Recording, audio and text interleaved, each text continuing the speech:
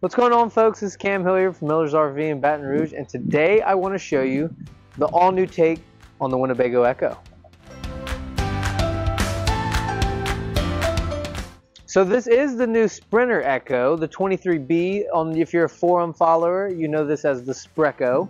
Um, before we jump into this Spreco, go ahead, like this video, subscribe to our channel, and make sure to turn on post notifications so you can get an update, a little ding, every time we post something really cool like this. So let's check this thing out. All right, guys. So we're in front of this Sprinter now. This thing is awesome. Let me know what you think in the comment section below. What your first first thought is, because I really like it. So you can tell right off the bat that you're going to have bigger tires. So basically the the Transit Ekko, just to take a step back, so the Ekko 22A that's on the Transit chassis, it's not going away. It's it's still going to be available. Um, Winnebago just saw an opportunity to build on the Sprinter chassis. They know there are a lot of people that want that diesel. So they made it on this. So it's going to be longer than your Transit Ekko, your Treco, if you will. This one's going to be about 25 feet. So it's going to be about a foot and a half, two feet longer. Um, than what the Transit Ekko is. Also, it's going to have bigger tires. So it starts off, you don't have to, like a lot of people when they would buy the, the 22A, right away they would want to lift it, put bigger tires on it. With this, you don't have to. You've got four inches extra uh, ride clearance, so four inches extra height. You've already got the bigger tires on it. So one, it looks fantastic, and two, the ground the ground clearance just makes it a heck of a lot better for actually going off grid or off road, um, off grid as well. But so we'll start off with storage compartment here. So you're gonna have a pretty good sized storage compartment here. You're going to have access to your inverter right there if you ever have to change any settings on it or just a hard disconnect for it. So I want to flip around and show you some of the other compartments where you can see them a little better. Okay, so now you can see a little bit better angle of what I was talking about the storage compartment here. Um, so you have the same door that you had on the Sprinter Ekko. I'm sorry, on the Transit Ekko. Very solid door here, made in the USA. Your screen door is going to be a metal screen door which is always a big plus. Your dogs aren't going to tear that up, and it just will stand the test of time. The awning, we just got a big gust wind. I guess it wasn't big enough. Um, but the awning does have a wind sensor on it. It's also a smart awning, so if you crank your engine, it'll automatically pull the awning in for you. Um, but the wind sensor is great because when the wind picks up, it'll pull it in for you. So I really like that. I usually tell most of my customers, like, if you're going to leave the RV, like you're going to go somewhere, I would be safe and probably pull it in. The wind sensor is going to do its job, but don't leave it to technology to fail. Let's just be smart. So you're going to have a storage compartment here. On the 22A Transit, you have a bigger storage compartment here where you can get the tailgater. So that's where you get the tailgate package you can get the the uh, Dometic refrigerator um, and get the little sink and, and cooktop out there. Um, this you you don't have that option on the Sprinter chassis. Everything else you pretty much can still get, um, but still nice storage here. Um, and then you're also going to have hookups here for a TV or whatever you see fit. Um, and then these are going to be your removable propane tanks. So same size propane tanks that you have on the Treco.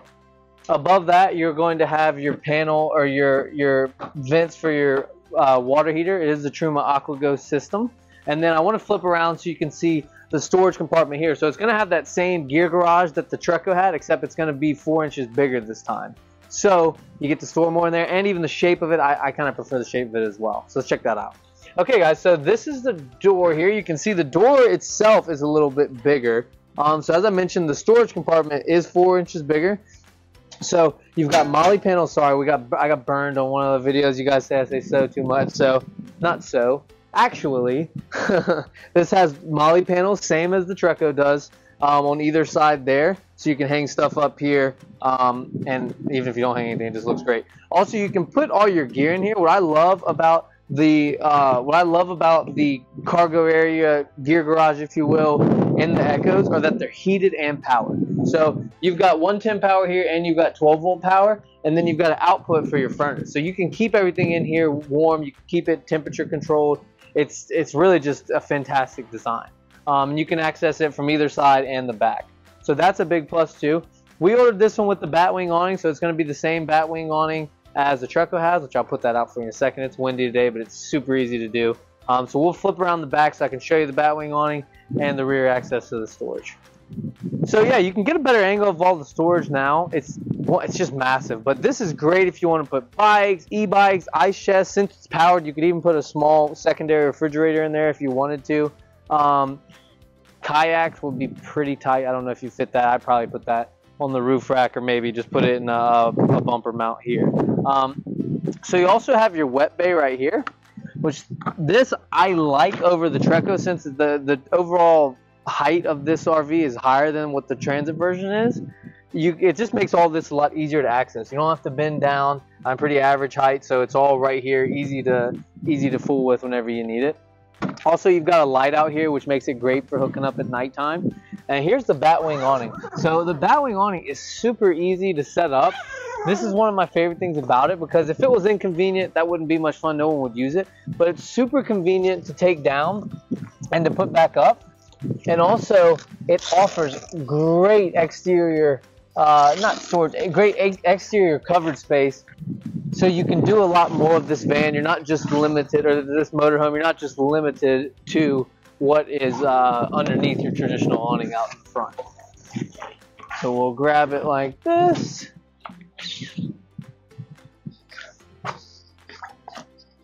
Come over this way. And then we are going to strap that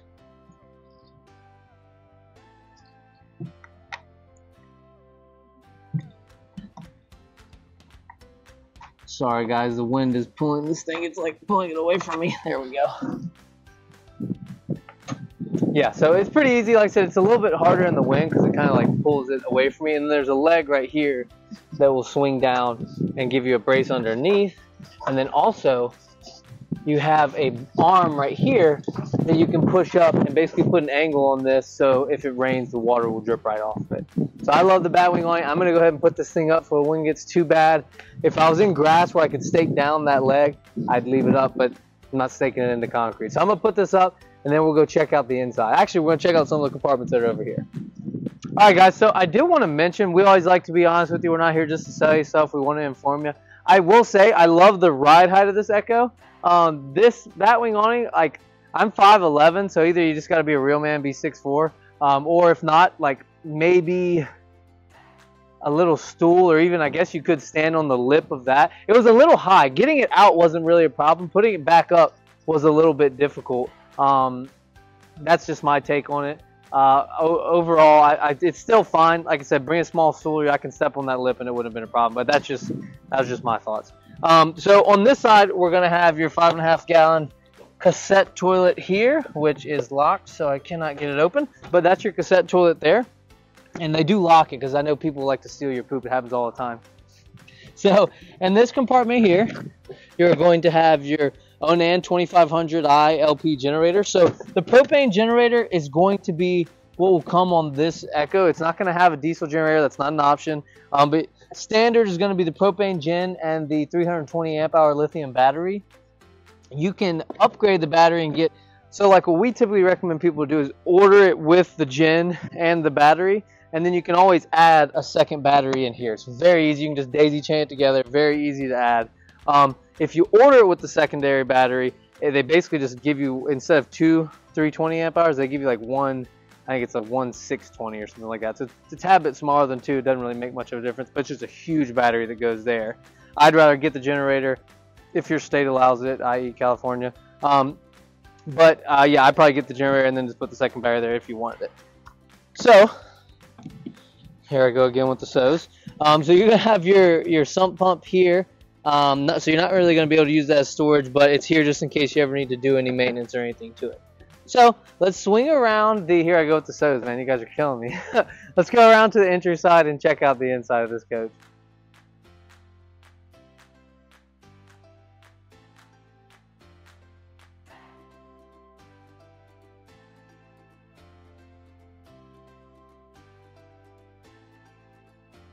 Okay, so we're inside of the Spreco now, and man, this thing is awesome. It looks a lot like the Transit version, like the 22A, uh, as far as like the colors go. Um, there's a few really nice differences that just make it very ergonomically more comfortable.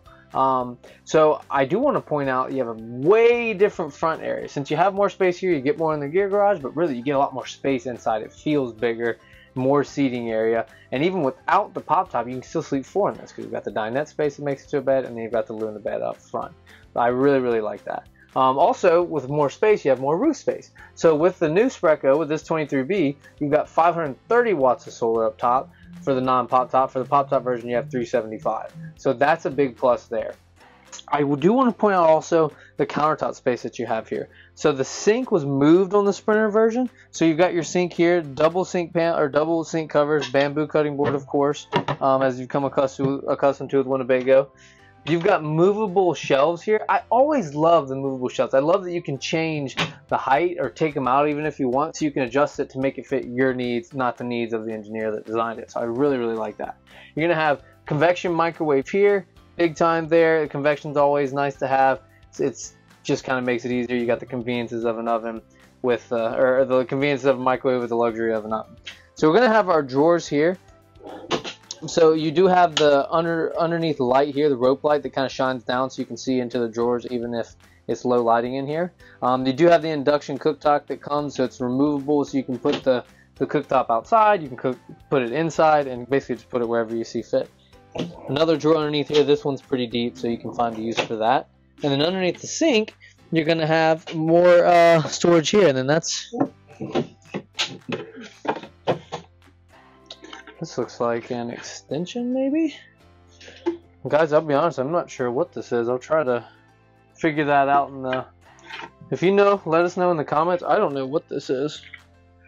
We'll try to figure that out for you. Um, but yeah, great storage space underneath here. Of course, you've got your water filter underneath. Um, so this water coming through is going to be filtered. Um, so to the left, we've got our refrigerator. So this is the same Norcold fridge that you have in the Transit version, but they lowered the fridge, so it's not at a weird height. It's at a very normal height for everyone to reach. So I like that. Also above your fridge, you're going to have your control panels here. So I, with this, you don't have on the Treco, you have the, on the older version, you had the thermostat that you had to control with. This, your thermostat is integrated in with your monitor panel here. So I really like that. Um, also, you can see I'm standing underneath the AC now, so that's a big difference from the previous year model Sprinter or uh, Ekko. The AC was located above the bed, which we got the feedback from. It was very loud, and just you couldn't really shut it off because it was right above you. This is still ducted AC, but your AC is here, so it's going to be a lot more quiet when you're sleeping. So I love that. Um, also, you're going to have your solar controller here. As I mentioned, you're going to have your monitor panel. You can control your generator, your water pump, all that good stuff. And then outside of the bathroom here, is where you're going to have your furnace controls for the AquaGo system. So I want to show you the bathroom. If you've seen any of the Ekkos, you know this is like the best feature on it. It's just worth the price of entry alone. That's what I always tell everybody. I think it's great. So I want to show you this bathroom. Just a quick little glimpse of it, what it can do. Okay, so here's our bathroom now. So this bathroom on the Ekko, on the 23A and 23B, is the best bathroom in anything this class. Without a doubt, nothing even comes close. So technically, if you want to say it's a wet bath, but really, it's not really a wet bath. Why do I say that? Because right now, you've got the function of the toilet, and you don't even see the shower. Like, man, there's no shower in this thing. That's crazy. But no, there is a shower. So you grab this latch here, and then you snap in this buckle there, and there you go. There's your shower now. Your toilet's covered. Your sink's covered. So now you can take a shower without getting all that stuff wet. It's fantastic. But you don't have the space, or you don't have, you don't take up the space of two separate areas. It works like two separate areas, but only takes up the space of one. It's fantastic.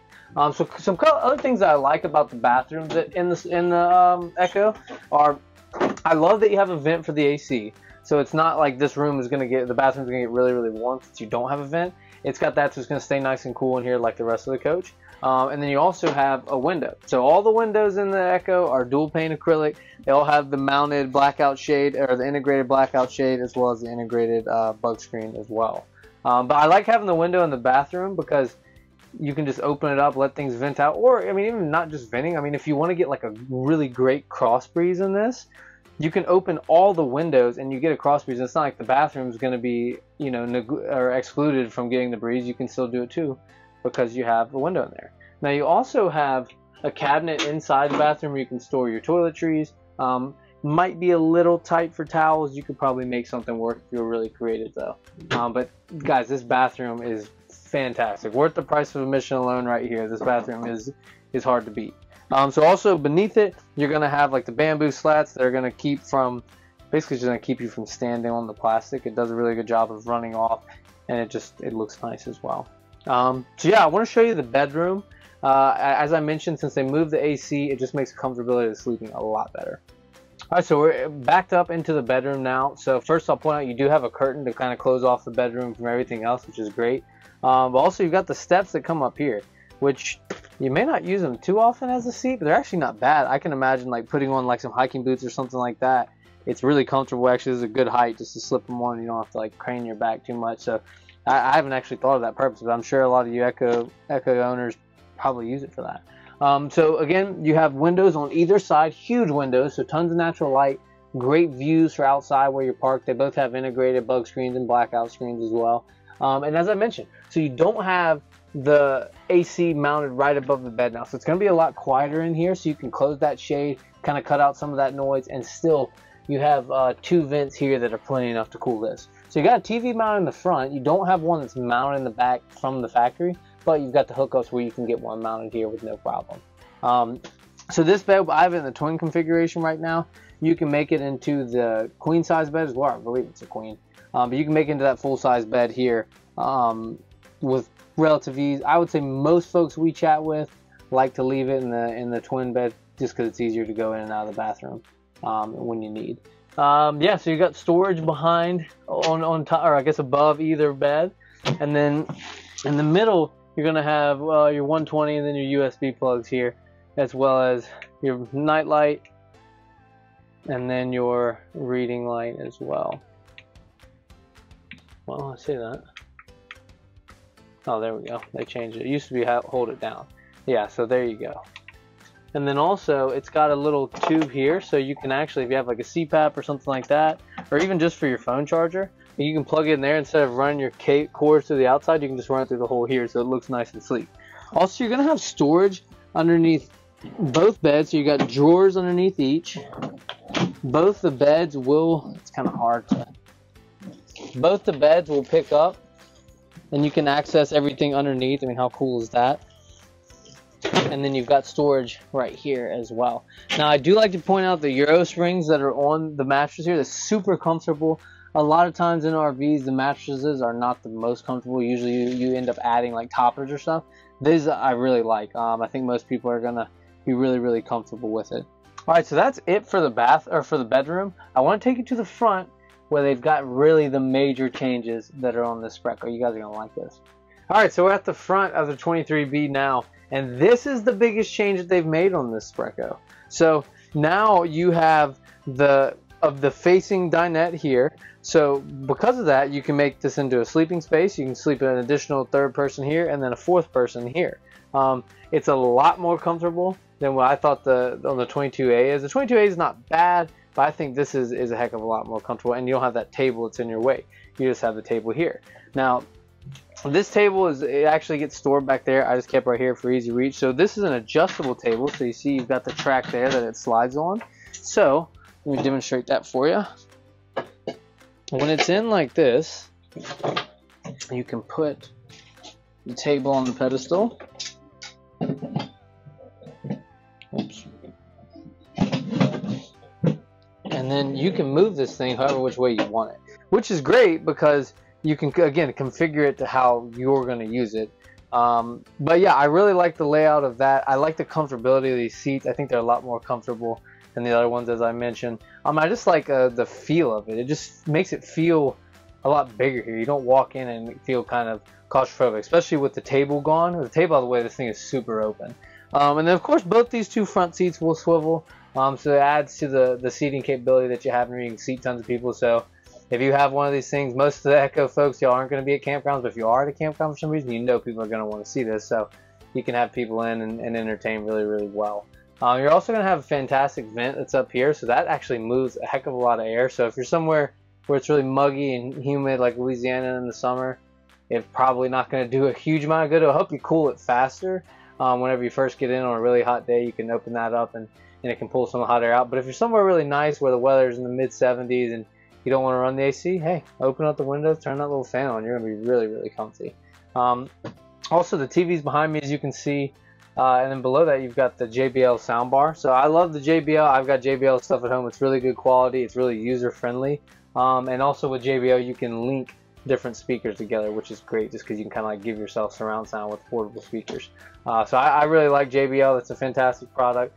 Um, and then with the Sprinter chassis on here, so you do have the uh, navigation that comes from Mercedes. You have adaptive cruise.